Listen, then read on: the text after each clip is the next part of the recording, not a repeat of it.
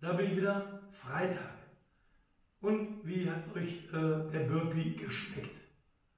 Ihr wisst vielleicht, was Burpee heißt. Burpee heißt eigentlich, ja, aufstoßen, übergeben. Könnt ihr mal googeln.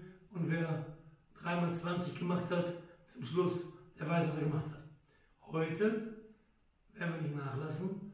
Heute machen wir was für Brust- und Trizepsmuskulatur. Wir machen heute den ganz klassischen Push-Up, haben wir schon mal erklärt. Ähm, also Liegestütz. Ich mache die einmal vor, in verschiedene Varianten. Das erste ist die klassische Liegestütz. Hände liegen auf Brusthöhe. Ihr kommt nach oben, könnt euch ablegen. Auch hier ist es möglich, die Hände anzuheben, um nach oben zu kommen. Zweite Variante, ihr lasst die Knie auf dem Boden, geht runter, könnt die Hände anheben und euch rausdrücken. Jawohl. Es gibt immer eine Variante, auch ganz schwierig eigentlich. Ihr geht hier hin und der Ellbogen geht nach hinten weg und kommt hoch. Geht nach hinten weg und kommt hoch. Jetzt ich mal eine schwierige Übung vor. Das ist eine Übung, die sollten am Ende der Zeit alle schaffen.